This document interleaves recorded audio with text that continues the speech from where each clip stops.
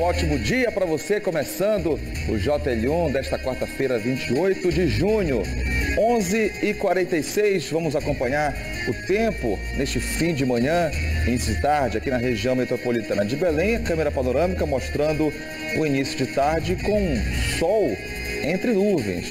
Vamos acompanhar um pouco do trânsito para você que está circulando, ou vai, que vai circular agora à tarde pelas ruas de Belém. Imagens para você do Boulevard Castilho de França, região do Vero Peso, com grande movimentação. Outro ponto para você observar junto com a gente na Presidente Vargas, bem ao lado da Praça da República, também com grande movimentação e você vai acompanhar na edição de hoje as denúncias de coleta irregular de lixo em alguns bairros de Belém, como no Barreiro, Marambá e Bengui.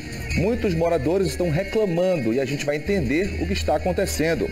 Nossa equipe retornou à rua Costa e Silva, no Tapanã, para mostrar mais uma vez a indignação da comunidade que ainda sofre com a falta de asfalto, saneamento e os buracos. A Secretaria de Segurança Pública do Estado apresenta o esquema da Operação Verão 2023. Os agentes estarão presentes em mais de 90 localidades do Estado. Estamos na semana de conscientização do vitiligo, que é uma doença caracterizada pela perda da cor da pele. Vai ser assunto do Fala Saúde hoje. Você pode participar marcando a hashtag você no JL1. E uma procissão luminosa em homenagem a Nossa Senhora do Pé Socorro percorre as ruas do bairro do Telégrafo aqui na capital. Tudo isso você acompanha agora comigo aqui no JL1.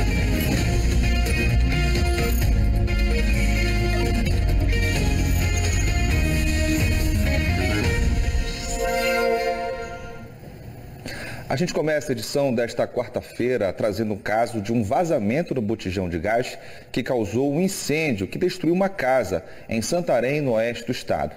A perda foi total, você vai acompanhar agora.